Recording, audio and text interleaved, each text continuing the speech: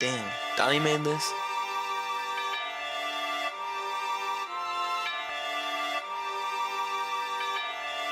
I need you to call Harvey.